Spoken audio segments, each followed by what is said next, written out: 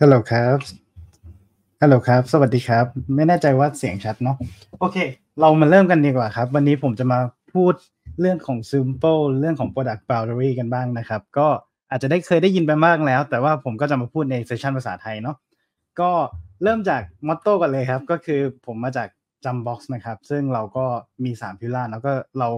มี Tech Passion Sharing แล้วก็ทำเกี่ยวกับ Society เนาะ แล้วผมขอ ใช้คำคำหนึ่งแล้วกันนะครับ ที่จะอยากจะสื่อสารไปถึงทุกคนว่าผมเชื่อว่าหรือเราเชื่อว่านะครับการเรียนรู้จะทำให้ชีวิตดีขึ้นเนาะแค่คุณจอยเซสชันวันนี้ครับก็ถือว่าคุณได้เรียนรู้เพิ่มขึ้นแล้วเนาะโอเค แนะนำตัวอีกครั้งครับ ผมโจโจ้ครับ จาก Jumpbox ปัจจุบันก็ทำตำแหน่งเกี่ยวกับ Cloud Native Specialist นะครับ แล้วก็มีทำตาม Tech Event ต่างๆ ก็อาจจะไปอาจจะเจอผมตามอีเวนต์ต่างๆ ไม่ว่าจะเป็นอีเวนต์ของไทยอีเวนต์ของต่างประเทศประมาณนี้นะครับ ก็เจอกันก็ทักทายกันได้ นะครับ ก็เริ่มก่อนที่เราจะเข้าเรื่องของ boundary เนี่ย ผมมักจะมีคำถามขึ้นมาหนึ่งคำถามครับว่า เฮ้ย แล้วเราจะ access private resource ของเรายัางไงนะครับ นี่คือคำถามแรกที่ผมจะถามเนาะเพราะเราต้องเริ่มจาก pain point ใช่ไหมโอเค ดังนั้นถ้าเรามองอย่างนี้ครับ ผม visualize ให้เป็นภาพนิดหนึ่งว่าเรามี private resource เนี่ย ถ้าเรา define หรือเรา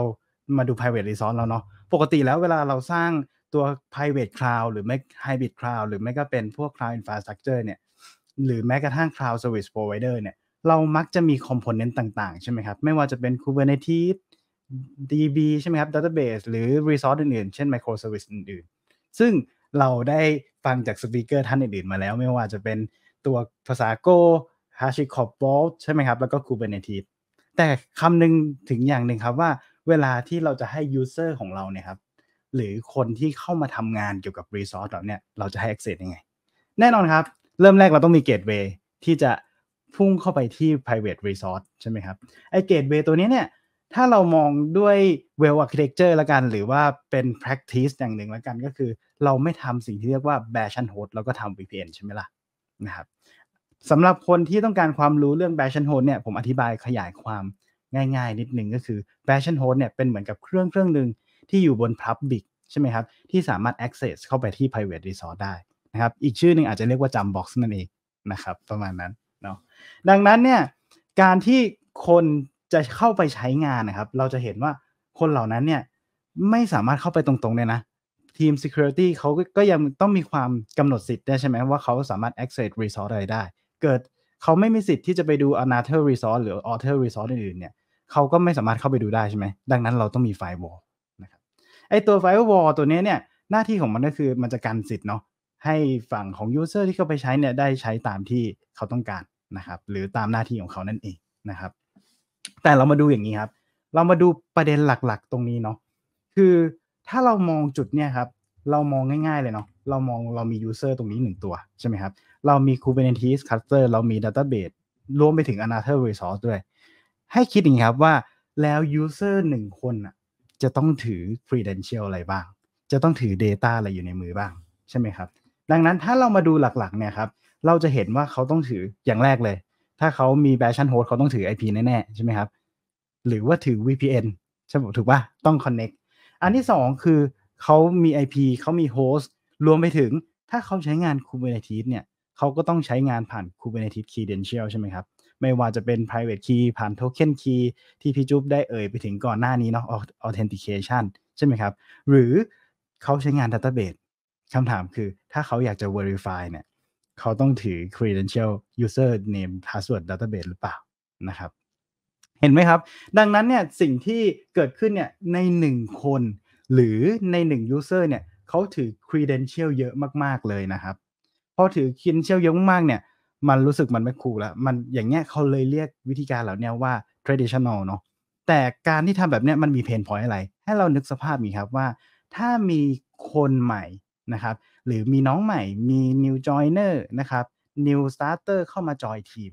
เขาต้องมา list สิ่งเหล่านี้นะครับมา onboarding มาเก็บคีย์เหล่านี้ซึ่งมันมันไม่โอเคเลยใช่ไหมครับ ดังนั้นมันก็เลยเกิดสิ่งใหม่นะครับ ทฤษฎี สิ่งใหม่ที่ทำให้มันดินามิกขึ้น ให้มันง่ายขึ้น แล้วก็ทำให้เกิดทฤษฎีหนึ่งที่ชื่อว่า zero task ใช่ไหมครับ ก็ไอตัวเนี้ยมันก็เลยมีเหตุผลว่าเฮ้ย เราไม่ควร trust private resource ของเรา เราไม่ควร trust another resource จริง ๆ แล้วเราควรจะมีตัวหนึ่งที่ช่วยจัดการใช่ไหมครับ มันก็เลยถึงสเตจหนึ่งนะครับ ที่เกิดสิ่งที่เรียกว่า identity provider ขึ้นมาหรือ IDP เนาะไอ้เจ้าตัว IDP ตัวนี้เนี่ยเข้ามาช่วยในการจัดการ คอยถือ resource เหล่านั้นให้เราคอย authenticate ให้เราคอยทำ sign on ให้เรานะครับ ซึ่งตัวเหล่านั้นผมยกตัวอย่าง product ที่เรารู้จักกันอย่างเช่น Azure AD Okta ใช่ไหมครับ พวก single พวก single sign on ต่างๆ เนาะก็อะไรประมาณนี้นะครับ แล้วคำถามสำคัญคือ ไอตัว IDP ตัวเนี้ยมันถูกดีไซน์ขึ้นมาแบบ pluggable by design นั่นหมายถึงอะไร เราไม่ต้องเปลี่ยน use case หรือ scenario ของเราเลยเนาะเราไม่ต้องเปลี่ยน user experience เราด้วยนะครับ ดังนั้นสิ่งที่ตัว IDP ทำครับ ก็คือทำไงครับ ใช้ policy รู้จัก policy ไหมครับ ปกติแล้วไอ้เจ้า policy หรือ RBAC role based access control ตัวนี้เนี่ยจะเป็นการ define นะครับ define ยังไงนะครับ define ในเรื่องของ logical service หรือวงเล็บนิดหนึ่งว่ามันคือ high level logical rule เนาะคือยังไงคือยังไง ให้เราคิดอย่างนี้ครับว่า ถ้าสมมุติว่าเราต้องการ access Kubernetes นะครับ หรือ access ตัวเครื่อง Bastion host ใช่ไหมครับ เราแค่บอกชื่อว่าเราต้องการ access Kubernetes prod หรือ access Kubernetes dev เหมือนกัน Bastion host ที่ Bastion host dev หรือ Bastion host prod เนาะ prod ก็หมายถึง production นะครับ โดยที่เราไม่ต้องสนใจ IP เลยเนาะ เครื่องจะมีการ terminate ทิ้ง มีการเปลี่ยน IP ใหม่กี่รอบกี่รอบเนี่ย เราไม่ต้องสนใจ IP เลยนะครับ เราแค่ ใส่ชื่อเข้าไป เราก็สามารถ access สิ่งเหล่านี้ได้แล้วเนาะเห็นไหมครับ ชีวิตง่ายขึ้นใช่ไหมที่สำคัญเนี่ย พอมันเป็น high level เนี่ย เรายังสามารถระบุได้ด้วยนะว่า เฮ้ย ถ้ามีตัวไอเจ้า IDP เนี่ย เราสามารถระบุได้ว่า user ของเราเจ้าคนนี้เนี่ย สามารถ access เจ้า Kubernetes ได้ สามารถ access เจ้า database ได้ แต่ access resource อื่นไม่ได้ แค่เราทำ policy ไว้นะครับ อันนี้ก็คือเป็นเหตุผลแบบนี้เนาะ ดังนั้นเนี่ยถ้าเรามาดูตัว boundary ล่ะ boundary ทำอะไรนะครับ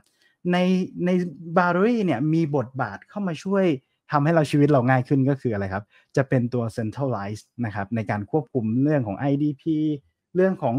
การทำ agent ยกตัวอย่างเช่น ถ้าเราต้องการ access Kubernetes เนี่ยเจ้า boundary agent เนี่ยมันก็จะทำการทำ kernel นะครับทำ kernel เข้าไปที่ Kubernetes เดี๋ยววันนี้มี use case มา เล่าให้ฟังแล้วก็มีเดโมให้ดูถ้ามีเวลาเหลือนะครับ โอเค ก็ประมาณนี้เนาะดังนั้นถ้าเราสรุปคร่าวๆเนี่ย Binary เนี่ยจะมาช่วยในเรื่องของ identity based access control เนาะมาช่วยในเรื่องของ access automation แล้วก็ตัว session visibility นะครับ ซึ่งเราสามารถดูได้ผ่านตัว admin console นะครับ เดี๋ยวผมจะพาไปดูสิ่งเหล่านั้นแหละนะครับ แต่ผมแอบทิ้งขายของนิดนึงก็คือถ้าใครอยากดูข้อมูลเพิ่มเติมหรืออยากติวตอเรียลเนี่ยก็ไปดูที่ กดลิงก์ตัวนี้ได้เนาะถ้าได้สไลด์ไปนะครับ ก็สรุปหลักๆไอ้เจ้า 3 หน้าที่เมื่อสักครู่เนี้ยครับมันก็จะมีเป็นรูปภาพแบบให้เราเข้าใจง่ายขึ้นเนาะก็คือสามารถใช้งานร่วมกับ Wall เพื่อทำเรื่องของ Dynamic Secret ได้นะครับเราไม่จำเป็นต้องถือ Secret ไว้เนาะหรือถ้าสมมุติเรามองว่าเฮ้ยถ้าคนคนหนึ่งเนี่ยถือ Secret ไว้เนี่ยเขาสามารถวันหนึ่งเขาไม่ได้ใช้นานมาก เขาโดนแฮ็กไปเขาโดน compromise ไปเนี่ยเขามีโอกาสหลุดได้ ตัว HashiCorp Vault ตัวนี้ครับ จะมาช่วยในเรื่องของการที่จะทำให้มัน expire ได้ ไม่ต้องถือเขาเรียกว่า long live secret เนาะเราเรามีแค่ช่วงเวลาให้เขาถือเท่านั้นนะครับ แล้วเมื่อไหร่ที่เขาจะใช้เราค่อย generate ให้เขาใหม่นะครับเหมือนกันนะครับ ไม่ว่าจะเป็นเรื่องของ authenticate ไม่ว่าจะเป็นเรื่องของ authorize นะครับ ตัว boundary ตัวนี้ช่วยได้ค่อนข้างจะเยอะเลยเนาะนะครับ ก็ หลักๆนะครับ เรามาถึงก็ที่ผมเล่ามาทั้งหมดตั้งแต่ต้นเนี่ย เราคงเข้าใจแล้วล่ะว่า boundary เนี่ยมาช่วยเรารู้คอนเซปต์แล้ว ทีนี้เรามาดู use case กันบ้างว่า เฮ้ย เราจะใช้ use case อะไรบ้างนะครับ จากเซสชันที่แล้วหรือว่างาน Hashi Talk ที่แล้วเนี่ยได้พูดถึง boundary กับตัว SSH ใช่ไหมครับ วันนี้ผมจะพูดถึงแล้วเราจะ connect Kubernetes ด้วย boundary ยังไงนะครับ โดยหลักๆนะครับ เราจะมาเล่าภาพรวมก่อนว่า ฮ้ยไอ use case ที่เราทำเนี่ยมันมี scenario อะไร มันมีสเต็ปยังไงนะครับ แล้วก็รวมไปถึงขั้นตอนในการ deploy Kubernetes แบบเร็วนะครับ แล้วก็ทำพวก preparation config มี wall มี boundary นะครับ แล้วสุดท้ายก็ถึงช่วงเวลานะครับ ใช้ boundary เนี่ย connect ไปที่ตัว Kubernetes cluster เนาะอะเริ่มก่อนนะครับ เรามาดู overview ก่อนว่า เฮ้ย เจ้า boundary เนี่ย ก่อนที่จะทำอะไรทุกอย่างนะ เรามาดูตรงจุดนี้ครับ เวลาที่เราจะใช้งานเจ้า Kubernetes เนี่ย เราจะใช้ตัว CLI ตัวหนึ่งเนาะ Command Line Interface หรือการพิมพ์ Command ในหนึ่งบรรทัดเพื่อ Action ไปหาตัว Control ต่างๆเนาะ โดยหลักๆ User เนี่ยครับ ก็จะใช้เจ้าตัว Command Line เนี่ยแหละ Access ไปที่ Kubernetes นะครับ เบื้องหลังตรงเนี้ยก็จะมีเรื่องของการ Authentication ใช่ไหมครับ Authorization นะครับตาม Pillar ของมันเนาะ ดังนั้นเนี่ยการที่มันจะ access เข้าไปใน Kubernetes ได้มันต้องมีอะไร มันต้องมีอะไรเดาเนาะ มันต้องมีอะไรใช่ไหมครับ มันต้องมี secret ใช่ไหมครับ ที่ผมได้เกินไปกันดังนั้นตรงเนี้ยครับเราสามารถที่จะ generate พวก long live หรือ short live secret ได้เนาะผ่านตัว HashiCorp Vault นะครับ เราสามารถทำให้มัน dynamic ในการ generate แล้วพอมันหมดอายุเราก็ไม่สามารถ access ได้ Vault ทำหน้าที่นี้ได้ดีนะครับ ทีนี้คำถามคือพอเรา generate just in time credential ไปแล้วเนี่ย หรือช่วงเวลาสั้นๆเนี่ย คำถามคือแล้วเราจะ control มันยังไงใช่ไหมครับ เรามีตรงนี้ครับก็คือ boundary เนาะที่ผมพูดไปก็คือ เราจะใช้ boundary เนี่ยเป็น centralized control นะครับ แล้วก็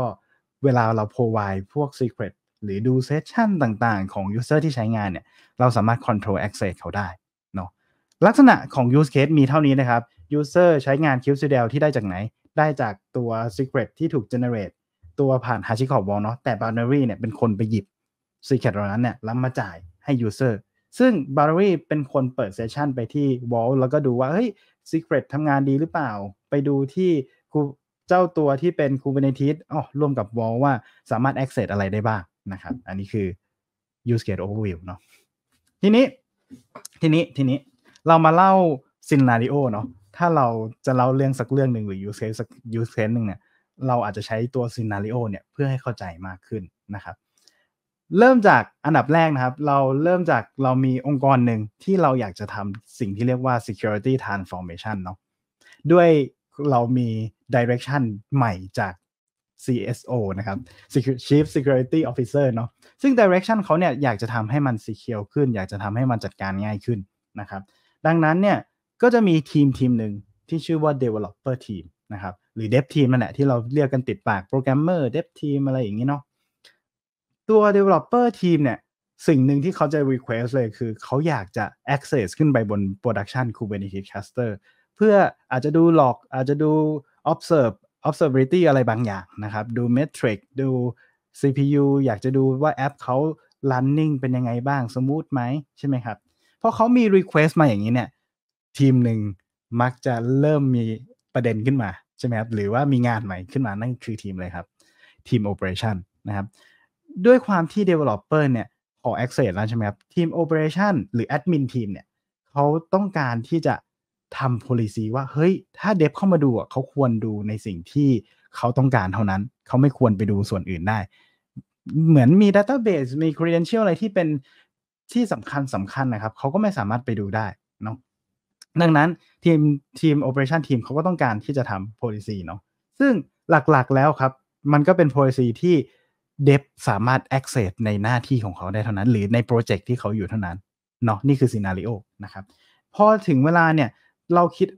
พอถึงเวลาเราได้โจทย์มาอย่างนี้เนาะตัวเราก็พบว่าเฮ้ยบริษัทเราหรือทีมของเราเนี่ยมี VPN แต่แต่มันไม่สามารถที่จะ limit access specific endpoint ได้เนาะถ้าถ้าเราให้เขาเนี่ย เท่ากับเขากระโดดเข้าไปที่ private network ของเราทั้งหมดเนี่ยเนาะ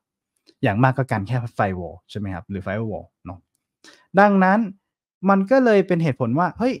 ถ้าเราจะใช้เราจะ limit พวก long live credential ตัวเนี้ยที่เราจะให้ production environment เนี่ยทำยังไงนะครับ เราจะมีการ limiting ยังไง เราจะให้ยังไงนะครับ มันก็เลยเป็นเหตุผลที่ต้องทำให้ทุกทีมเนี่ยมา discuss ร่วมกันเนาะ เพื่อจะทำให้ production เนี่ย run smooth แล้วคนที่เข้ามาใช้เนี่ยได้สิทธิ์ตามที่เขาต้องการ นี่คือ concept ของ scenario นี้เนาะ ดังนั้นถ้าเรามาสรุปดูนะครับ หลังจากที่ทีมเหล่านี้ไปทำ solution มาแล้ว เขาก็พบว่า เฮ้ยมันเกิด product ตัวหนึ่งพระเอกของเราวันนี้เนาะในเมื่อเราพูดถึง b a r r y ก็พบว่า b a r r y เนี่ยเป็น tools ตัวหนึ่งที่ใช้สำหรับในการจัดการพวก identity based access เนาะในการทำ dynamic infrastructure ด้วยนะครับ ถ้าถ้าไปใช้ในฝั่งของ HCP หรือ HashiCorp Platform Cloud เนี่ย ตัวนี้ก็จะมีพวกเรื่องของ dynamic infrastructure ขึ้นมาให้ด้วยเนาะแล้วก็มีในเรื่องของ remote user access ที่ สามารถอินทิเกรตร่วมกับพวก identity provider ที่ผมกล่าวไปขั้นต้นเนาะหรือ IDP นั่นเองนะครับ โดยที่เราไม่จำเป็นต้อง store พวก credential ที่ไม่มีวันหมดอายุไว้ที่เราเนาะหรือไม่ต้อง store ไว้ที่ user ที่เราจะให้ไปนะครับ นั่นคือการกำหนดสิทธิ์นู่นนั่นนี่เนาะอืมนะครับ ดังนั้นเนี่ย operation team สบายใจได้ครับ เขาสามารถทำ policy เขาสามารถกำหนด credential ต่างๆ นะครับ ไว้ที่เดียวคือ centralized control ไดได้ง่ายนะครับ ก็คือกำหนดที่เดียวเนาะที่ boundary นั่นเองนะครับ ในแต่ละรีโมทและเขาสามารถดูด้วยว่าเอ้ยไอเจ้าเซสชันแต่ละตัวเนี่ย มันสามารถจะต่ออยังไงได้บ้าง เขาสามารถ invoke session เหล่านั้นเนี่ยทิ้งไม่ได้ในกรณีที่คนเหล่านั้นบอกไม่ใช้และ ต่อให้ยังไม่หมดเวลานะ แต่ operation team สามารถ control ในการควบคุมเข้าออกเรื่องของ session ต่างๆ ของ user ที่เข้ามาใช้งานผ่านเจ้า boundary ได้นะครับ ก็หลักๆก็เราก็จะเห็นแล้วเนาะว่า boundary เนี่ยมันมาช่วยในเรื่องของการใช้ถ้าสมมุติว่า boundary เนี่ยต้องการให้ user access Kubernetes นี่คือ use case ที่เราเล่าไปเนาะสิ่งที่จะทำก็คือ boundary เนี่ยจะวิ่งไปขอ credential จาก vault นะครับแบบนี้เลยเนาะจะไปขอ credential จาก vault เนี่ยก็คือวิ่งเส้นนี้มาเนาะพอดีผมไม่ได้ทำ animation มาเนาะวิ่งเส้นนี้มานะครับ แล้วก็พอ vault เสร็จนี่ย vault ในเมื่อ vault เนี่ยมีการทำ policy ทำ permission ทำ role ไว้เรียบร้อยแล้วว่า เฮ้ย คนที่ของมาจาก boundary เนี่ยเขาควรจะต้อง get pod ได้นะครับ อยากจะดูแอปพลิเคชันที่เขาต้องการได้นะครับ สิ่งที่ Vault ทำก็คือ Vault ก็จะไปทำการสร้างนะครับ ตัวที่เป็นไม่ว่าจะเป็น Service Account เป็นตัว Credential ที่หลังจากทำเสร็จพวกนั้นนะครับ สิ่งที่ Vault จะได้กลับมาก็คือได้สิ่งเหล่านั้นกลับมาเนาะรวมไปถึงการ access กลับมาด้วย พูดแบบง่ายๆเนาะ เสร็จแล้วพอ Vault ได้กลับมาปุ๊บ Vault ก็จะทำการ provide response ตัวเนี้ยนะครับพร้อมกับเห็นตัวนี้ไหมครับ TTL นะครับ TTL ย่อมาจาก time to alive นะครับเหมือนกับว่าถ้าเมื่อไหร่เวลาตัวเนี้ยมันคือเวลาเนาะเมื่อไหร่เวลาที่ให้มาครับมันหมดลงนะครับ สิ่งที่พอมันหมดลงแล้วเนี่ยนั่นหมายความว่ามัน expire นะครับนั่นหมายความว่าไง เวลาที่ได้ credential พร้อมเวลามา นั่นเรารู้เหตุผลแล้วใช่ไหมครับ มันคือ short นะครับ มันคือ short leave credential เวลาที่เราบอกว่า user คนเนี้ยเราให้เขาทำงานได้ภายใน 10โมงเช้าถึง 11โมง เราจะทำโทเค็นให้มันมีเวลา 10โมงเช้าถึง 11โมงเนี่ยก็คือทำ time align 1ชั่วโมงเนาะจากนั้นเราก็ provide เจ้าตัว credential เนี่ยให้ user ไปใช้เลย เขาจะไปทำอะไรก็เรื่องของเขาภายใน 1 ชั่วโมงนั้นเนาะพอครบ 1 ชั่วโมงปุ๊บเนี่ยสิ่งที่เกิดขึ้นก็คือเมื่อมันถึง time to align มันหมดนะครับตัว credential นี้ก็จะ expire นะครับเขาก็จะไม่สามารถ access resource เราได้เนาะต่อให้ boundary มีการต่อ session ไปที่ Kubernetes เนี่ยครับ มันก็จะไม่สามารถ access ได้อยู่แล้วนะครับ เพราะว่า credential มัน expire เนาะสิ่งหนึ่งที่ถ้า user อยากจะเข้ามาใช้งานใหม่ เขาต้องมาขอกระบวนการเดิมนะครับ นี่คือเหตุผลเนาะ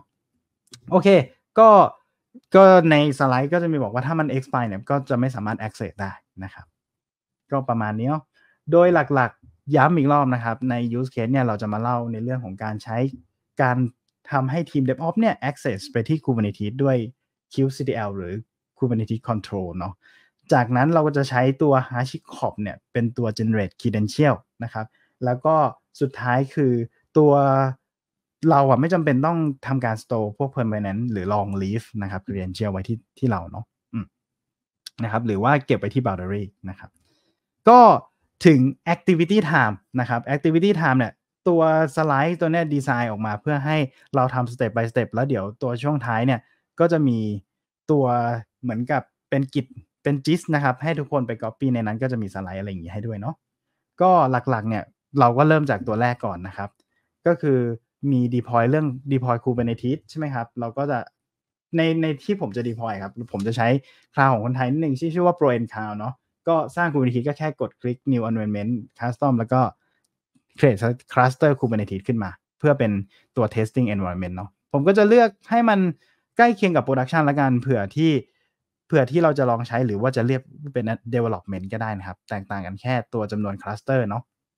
ซึ่งเราก็กรอกรายละเอียดอะไรให้ชัดเจนนะครับ เราต้องการอะไรก็ติ๊กไปนะครับ สิ่งที่ผมอยากจะได้เพิ่มก็คือเรื่องของ remote API access นะครับ เวลาที่เราใช้ Q control เนี่ย เราจะได้ access ไปที่ cluster ได้นะครับ ก็หลักๆประมาณนี้เนาะพอหลังจากที่เราสร้างเสร็จเนี่ย เราก็จะได้เจ้าตัว token key มานะครับ เราจะได้ token key เจ้าตัวนี้มานะครับ ซึ่ง token key เจ้าตัวนี้เนี่ย เราจะใช้มันในการใช้คำสั่ง qctl access นั่นแหละนะครับ เราจะเอา token key ตัวเนี้ยไป access นะครับ ผ่านตัว remote API ที่เราได้ทำการติ๊กไว้เมื่อสักครู่นี้เนาะนะครับ ถ้าไม่ถ้าดูไม่ทันนะครับ ย้อนให้ดูนิดนึง เรามีการติ๊กเจ้าตัว remote access ตัวนี้เนาะ ห็นไหมครับ พอติ๊กเสร็จแล้วเนี่ยเวลาที่ cluster มันสร้างเสร็จอะครับ สิ่งที่มันทำต่อก็คือมันจะ provide เจ้าตัว endpoint ให้เราก็คือเจ้าตัวนี้นะครับ provide ก็คือเราคลิกได้จากเจ้าตัวนี้เนาะจากนั้นก็มี access token ให้นะครับ วิธีการ access สิ่งเหล่านี้เนี่ยสิ่งในการ access นะครับ ง่ายมากก็คือเวลาที่เราใช้นี่เรานะครับ user นะครับใช้ QCL เนี่ยผ่าน Kubernetes context เนาะก็คือเป็น user บวก token ใช่ไหมครับ แล้วก็ตัวปลายทาง Kubernetes cluster endpoint นะครับก็คือ API key เนี่ยเราจะ access authenticate เนี่ยไปที่ Cube API server เนาะซึ่งพอเรา access ไปถ้าเรา authenticate ผ่าน authorization ผ่านอะไรเรียบร้อยตามกระบวนการ ถึง admission controller ผ่าน policy เราก็จะได้ resolve กลับมานะครับ ก็วิธีการเซตไม่ได้ยากอย่างที่คิดครับ ก็คือใช้คำสั่ง list ไว้ให้นี่ก็คือมี qcl config set cluster name เราตั้งชื่ออะไรก็ได้นะครับลบๆ http ตัวเนี้ยจะไอตัว server endpoint เนี่ยจะได้จากการ generate server ขึ้นมาเนาะจากนั้นก็มีการ set context ซึ่งเราก็ตั้งชื่อ context ไว้ไว้ได้เลยเนาะแล้วก็เหมือนกันนะครับ ก็มีชื่อ cluster นะครับซึ่งชื่อ cluster เนี่ยมันต้องตรงกันเนาะไอเจ้าตัวเนี้ยครับเดี๋ยวผมวงให้นิดนึงนะครับ ผมเอากรอบสี่เหลี่ยม ตัวเนี้ยครับต้องตรงกันเนาะ cluster name เนี่ย ไม่ว่าเราจะใช้ 2 ตัวนี้ตรงกัน หมายถึงว่าเราจะมีการสร้าง contract นะครับ ด้วย cluster ที่ชื่อนี้เนาะผ่าน endpoint นี้นะครับ อันนี้คือจบ 2 บรรทัดนี้แล้วเนาะถัดมาถัดมานะครับ ถัดมาเราจะมีการเซตชื่อชื่อ user ขึ้นมาใหม่ พร้อมกับโทเค็นที่เราได้ จากการ generate cluster เนาะพอเราเซต user ขึ้นมาใหม่ปุ๊บ สิ่งที่เราทำก็คือ เราจะมีการ binding context ครับ binding context คืออะไรนะครับ เราจะเอาตัว context เจ้าตัวเนี้ยนะครับทำการเซตนะครับคู่กับ user เจ้าตัวนี้เนาะตรงนี้อาจจะตกเรื่องของการเว้นวรรคไปนิดนึงนะครับของจริงต้องเว้นวรรคด้วยเนาะแล้วก็ตัว user context ตรงเนี้ยครับเราสามารถ binding ต่อไปด้วยเนาะก็คือการที่เรา binding โทษทีครับการที่เรา binding เสร็จแล้วเนี่ยเราต้องมีการใช้เจ้าตัว context ด้วยเนาะเราจะใช้คำคำสั่ง qcl use context หมายถึงเราเซตทุกอย่างพร้อมแล้วเนี่ยเราต้องมีการใช้ context นี้ด้วย ประมาณนี้เนาะอันนี้ก็เป็นตัวอย่างที่เราเกตคัสเตอร์เจ้า pro end ข่าวขึ้นมาเนาะแล้วก็มีการเซตให้ดูว่าเฮ้ยเราเซตยังไง แล้วก็สุดท้ายมีการใช้ตัว context ตัวนั้นเนาะอืมนะครับซึ่งเราจะ verify ง่าย ๆ เลยก็คือเราจะใช้คำสั่ง kubectl get node เพื่อดูว่าเฮ้ยมันมี node อะไรให้เรา มีการ access เข้าไปได้หรือยัง ถ้า access เข้าไปได้เนี่ย เราจะได้ข้อมูลกลับมา นั่นคือ node นะครับ get object ที่ชื่อว่า node เนาะทีนี้เราก็จะมี คำสั่งเพิ่มเติมก็คือถ้าเราอยากจะ test แอปพลิเคชันสักตัวเนี่ย เราจะ test อะไรดีนะครับ ในเมื่อมีแอปพลิเคชันเนี่ยง่าย ๆเลยนะครับ เราสามารถไปดึงจากตัว container registry ที่เป็น public อยู่แล้วอยู่แล้วนะครับ ชื่อ hub.docker.com เนาะก็ไปใช้งานเจ้าตัว nginx นะครับ ก็ใช้คำสั่ง qctl run ชื่อด้วย nginx เนาะแล้วก็ลบๆ image nginx by default เนี่ยเจ้า kubernetes ก็จะไปดึง container image จากตัว hub.docker.com ที่เป็น nginx มานะครับ โดยที่เราตั้งชื่อ pod นะครับไว้ว่า nginx เนาะซึ่งพอเรารันคำสั่งนี้แล้วเนี่ยสิ่งที่เกิดขึ้นก็คือมันจะ generate เจ้า pod ขึ้นมานะครับอันนี้คือการเตรียมการ kubernetes เสร็จแล้วเนาะก็เราก็ get อะไรให้เรียบร้อยนะครับ ดูว่ามันใช้งานได้มัน running โอเค เสร็จนะครับ ขั้นที่ 1 เราเตรียม kubernetes เสร็จแล้ว เรามี cluster ไว้ให้ทดสอบแล้วเนาะถัดมาคือเราจะเตรียมสิ่งที่เรียกว่า vault กับ boundary นะครับ การเตรียมการเนี่ยมันก็จะมีในเรื่องของ initialize process เนาะ initialize process เนี่ย ผมคิดว่าถ้าทุกคนอยากเล่นเริ่มต้นก่อนเนี่ย ไม่จำเป็นต้องติดตั้ง production grade เลยนะครับ อยากให้ทุกคนเล่น component ให้เข้าใจไม่ว่าจะเป็นทั้ง boundary หรือ vault ก็แล้วแต่ครับ ถ้าคุณเล่นบนเครื่องคุณเข้าใจแล้วเนี่ย พอคุณ initialize ที่เป็น production grade ขึ้นมาครับ ยังไงคุณก็ทำงานกับมันได้เนาะแต่อย่างแรกคือต้องทำ environment ให้ตัวเองเข้าใจก่อน นั่นคือ dev นะครับ ก็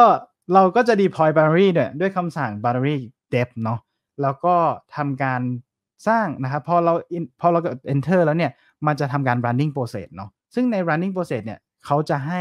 สร้างเจ้าตัว Postgres เบื้องหลังคือมันจะไป initialize docker นั่นแหละครับ ตัวเครื่องผมครับมันมีการใช้ตัว open platform นะครับหรือ container platform ที่ชื่อว่า docker เนาะซึ่งเบื้องหลังเนี่ยเวลาที่เรารันคำสั่ง boundary def เนี่ยมันจะไปสร้างคอนเทนเนอร์ตัวหนึ่งที่เป็น Postgres database ครับไว้ที่ docker ของเรานะครับ แล้วก็ ให้ username password ในการ access boundary เนี่ยก็คือ admin username password เป็น password เนาะนะครับแล้วเราก็ access ผ่านตัว localhost 92 9,200 ได้ที่พอร์ตนี้เนาะก็ทีนี้เราเสร็จแล้วเนาะเราเราเมื่อกี้เรามีการ initialize หรือพูดง่ายคือเรา start process ตัว boundary ขึ้นมาแล้ว ไว้ที่เครื่องของเรานะครับ จากนั้นเราจะทำการ start ตัว wall ขึ้นมานะครับ เพื่อให้มันนะครับ เป็นตัว generate อะไรครับ short leave credential ใช่ไหมครับ เราก็สร้างเหมือน def เหมือนเดิมเลยนะครับ ก็ใช้ wall server ขีด def ขีด def root token id เพื่อให้เราใช้โทเค็นที่ชื่อว่า root ได้เนาะพอเรารันคำสั่งเนี่ย process ที่รันนะครับ process ที่รันสิ่งที่เกิดขึ้นก็คือเจ้า wall ตัวเนี้ยครับ ก็จะทำการ initialize ขึ้นมา starting ขึ้นมานะครับ ดังนั้นเนี่ยก็จะมีในเรื่องของ key เนาะก็เสร็จแล้วเราก็ทำการ export นะครับ พวกข้อมูลต่างๆ ไว้เก็บไว้ที่ตัว environment นะครับ สิ่งที่เราทำคือเรามี start เรามี Kubernetes เตรียมไว้แล้ว มี boundary แล้ว มี Vault แล้วนะครับ เราก็เก็บ environment ไว้ว่า เฮ้ย ตัว boundary ของเราเนี่ย คือ port 9,200 Vault คือ port 8,200 ตัว Vault token คือ root เนาะ แล้วก็ Cube API URL เนี่ย เราก็ใช้เป็นตัวตัว endpoint ของ Kubernetes ของเราเนาะจากนั้นเราสามารถ verify นะครับ ผ่านตัว env ตัวนี้ได้นะครับ ก็ ทีนี้เราก็ทำการ log in นนะครับด้วย CLI ของ Boundary ด้วยคำสั่ง Boundary Authenticate เนาะซึ่งเรา authent ไปปุ๊บเนี่ยเราก็ใส่ username ไปเลยครับ ก็คือ admin password ก็คือ password เนาะ wall ก็เหมือนกันนะครับ wall login ก็ใส่โทเค็นไป เมื่อกี้เราได้ export ไปแล้วเนาะจากนั้นเราก็ config Kubernetes สำหรับ wall เนาะเราได้ Kubernetes มาเนี่ยสิ่งหนึ่งที่เราต้องทำก็คือ wall เนี่ยมันไม่มีสิทธิ์ที่จะ access Kubernetes เราต้องให้สิทธิ์มันก่อน สิ่งที่เราทำคือเราจะสร้างสิ่งที่เรียกว่า service account สร้าง namespace ให้มันด้วยเนาะ service account ตัวเนี้ยสร้างขึ้นมาเพื่อ wall โดยเฉพาะนะครับ โดยที่เราจะ binding กับ secret นะครับคลาย secret กับคลาย service account เนาะซึ่งไอตัว secret ตัวเนี้ย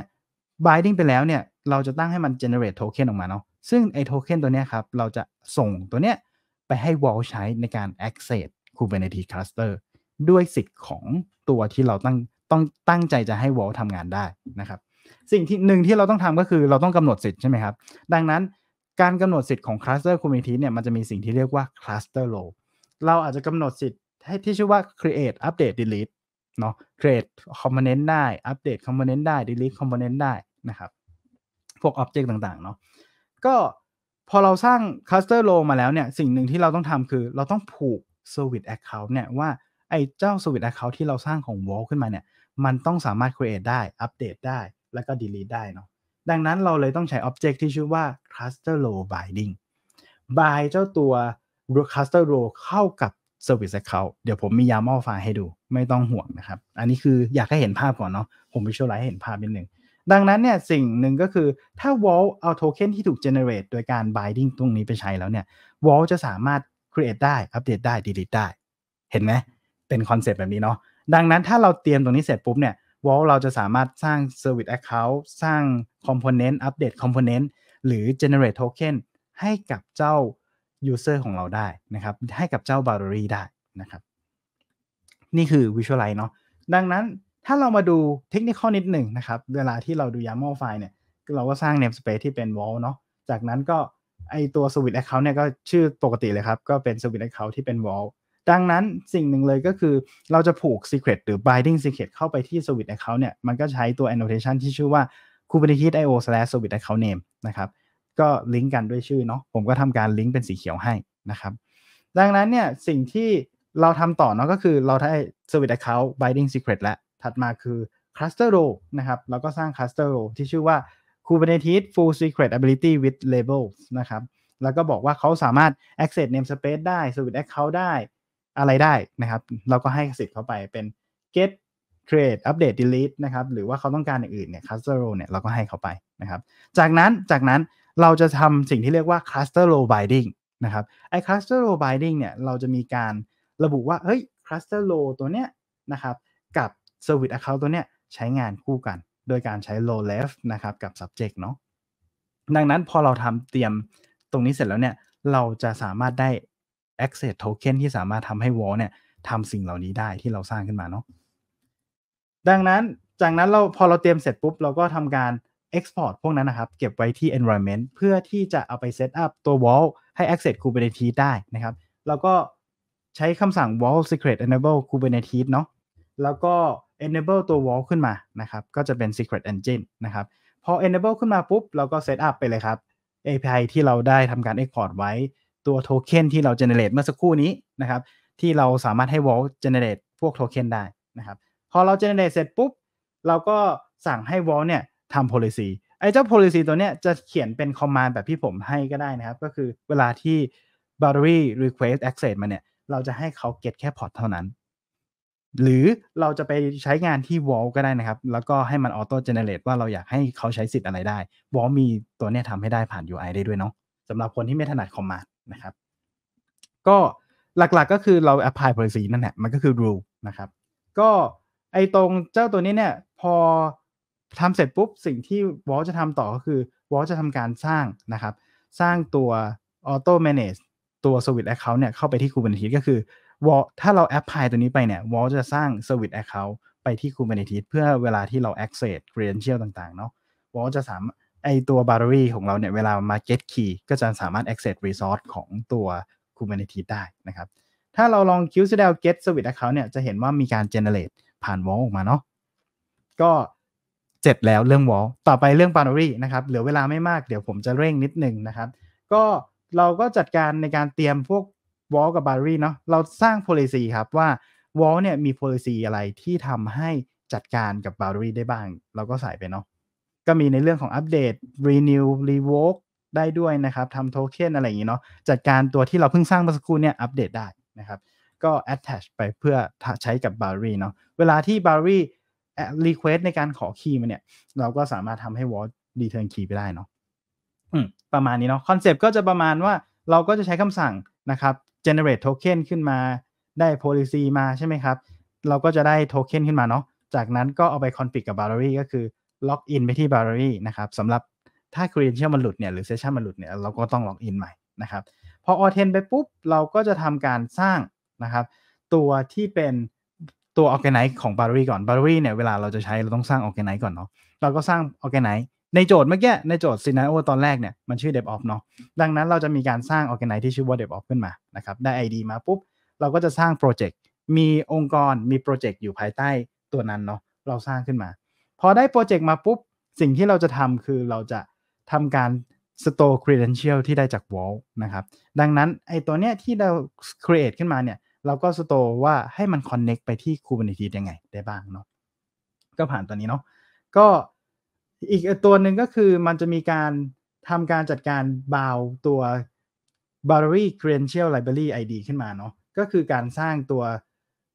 เวลาที่เราจะ attack ตัว credential ร่วมกับ wall นะครับ boundary จะวิ่งไปใช้ secret engine อะไรพวกนั้นครับ มันก็ต้องมีการบาวไปเนาะเราก็ใส่ไปนะครับ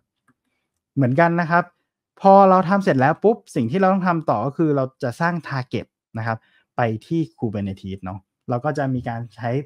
สร้าง target นะครับ ผ่าน Kubernetes นะครับ ผ่าน Kubernetes API นะครับ ทีนี้ถัดมาก็คือพอเราสร้าง target เสร็จแล้วเนี่ย